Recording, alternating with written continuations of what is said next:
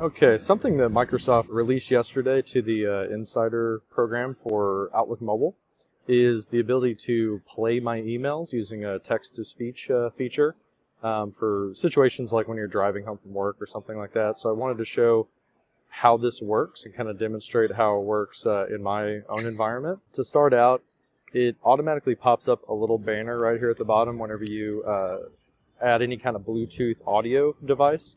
Um, I'm not sure if you can get to it manually or not yet, but if I take this, this AirPod and I'll just put it right here in my ear, then what we'll get is this little banner across the bottom here. Basically, I get this banner along the bottom here that says play my emails. So I'm going to go ahead and tap on that and it starts this process where Cortana's going to wake up, tell me that I've got five new emails and it's going to take four minutes to go through them.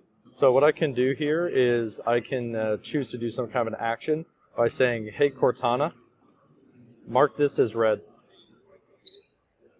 It will go ahead and take that action for me and go on to the next one. I'll mark it read. So here's another one by Kyle Burwalt. About an hour ago, Kyle Burwalt sent a response about weekly Microsoft O365 knowledge transfer to nine addresses saying, Hi Brandon, So could I don't you really please care about cancel this. So meeting for this week?" Cortana, delete this.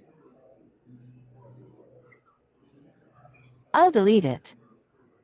Then we'll go through the next one here. Several hours ago, Microsoft Edge and Bing product teams sent an email about reminder. Hey Cortana, Microsoft Edge and next email. Or skip this, I guess. So this is that meeting that's going to be canceled according to the other email. So hey Cortana, archive this. Sure, I'll archive it. And you also have an email from Microsoft Planner to read later. That's all I've got. And there we go. So it's checking for new emails. It's not going to find any, so it's all caught up. And uh, that's all there is to that feature. It's pretty cool. I think I'm going to use it a lot whenever I'm actually uh, driving from home. And I can just go through my emails without ever looking at my phone and, you know, kind of guard my work life balance a little bit better.